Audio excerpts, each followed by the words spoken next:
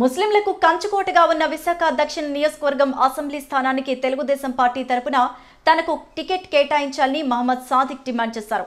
Dwaraka Nagar public లైబ్రరీలో ఏర్పాటు చేసిన మీడియా సమావేశంలో ఆయన మాట్లాడారు. దక్షిణ టికెట్ను తిరిగి వాసుపల్లి గణేష్ కుమార్కు కేటాయిస్తే ఓడించి తీరుతామని అన్నారు. ఇప్పటికే చంద్రబాబును కలిసి దక్షిణ టికెట్ను ముస్లిం మైనార్టీలకు కేటాయించాలని కోరామని ఆయన స్పందించకపోతే ఇండిపెండెంట్గా తాను పోటీ చేసేందుకు సిద్ధంగా ఉన్నానని సాదిక్ స్పష్టం చేశారు. ఈ సమావేశంలో మాజీ కార్పొరేటర్ చెన్నా రామారావు తదితరులు పాల్గొన్నారు. ఈరోజు ఇక్కడ పత్రికా విలేకరు సమావేశం నిర్వహించడం జరిగింది.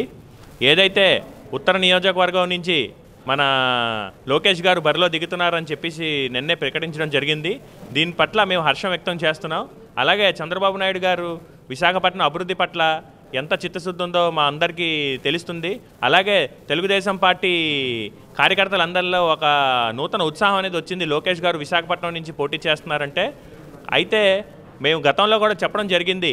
మన ముస్లిం మైనారిటీలకు ఒక సీట్ కేటాయించాలని చెప్పేసి మేము విశాఖపట్నంలో డిమాండ్ చేయడం జరిగింది. అయితే అది ఉత్తరం నుంచి లేకపోతే దక్షిణం నుంచి అనేది ఒక సందిగ్ధత అనేది ఉండేది. ఉత్తరం నుంచి ఆల్రెడీ మా సోదరుడు నజీర్ అక్కడి నుంచి ప్రయత్నాలు చేయడం జరిగింది. అయితే ఇప్పుడు అది లోకేష్ గారికి కేటాయించారు కాబట్టి దక్షిణ నియోజక మాత్రం కంపల్సరీ ఈసారి వదిలేదు లేదండి. ముస్లిం మైనారిటీలకి కేటాయించాలని చెప్పేసి మేము డిమాండ్ చేస్తున్నాం.